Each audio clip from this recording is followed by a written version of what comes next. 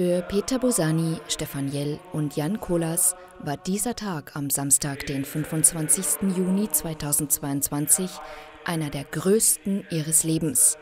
Der Tag ihrer Priesterweihe durch Bischof Stefan Oster im Passauer Stephansdom. Er hat ihnen ganz dem Weiheritus getreu durch Handauflegung feierlich das Weihesakrament gespendet. Ich wünsche Ihnen, dass Sie innerlich die Nähe Gottes, die Nähe Jesu erfahren können, dass Sie auch sich darum mühen, darin bleiben zu können, immer wieder dort in diese Quelle hin zurückkehren.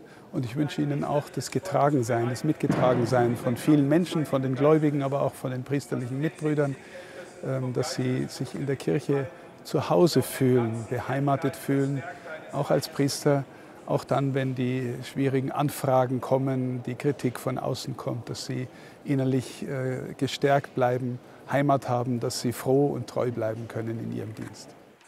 Der Weiheritus verlief ganz traditionell mit dem Versprechen der Kandidaten, der Allerheiligen-Litanei, der Handauflegung, dem Weihegebet, dem Anlegen der liturgischen Gewänder, der Übergabe von Kelch und Patine und schließlich dem Friedensgruß.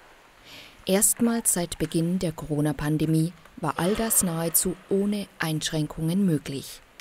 Und das war besonders schön für die drei jungen Männer, die dadurch ihren Tag umso mehr genießen konnten.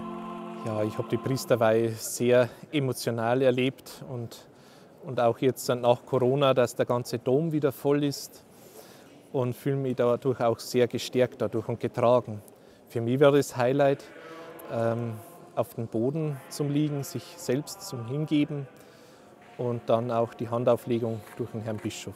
Es war eine sehr beeindruckende Feier, die mir sehr nahe gegangen ist. Die Liturgie in ihrer Gesamtheit von ihren Zeichenhandlungen her. Und besonders faszinierend, denke ich, war es, dass seit Corona nun wieder die Handauflegungen der ganzen anderen Priester auch stattfinden konnten. Und das ist etwas, was sehr nahe geht, was einen direkt berührt. Den großen Tag meiner Priesterweihe habe ich voller Dankbarkeit erlebt dankbar für das, was ich heute empfangen durfte. Dankbar für die, die mich bisher begleitet haben und in freudiger Erwartung auf das, was mich jetzt dann als Priester erwarten wird. Zum Abschluss spendeten die drei neuen Priester den Mitfeiernden noch wie üblich den Primitzsegen. So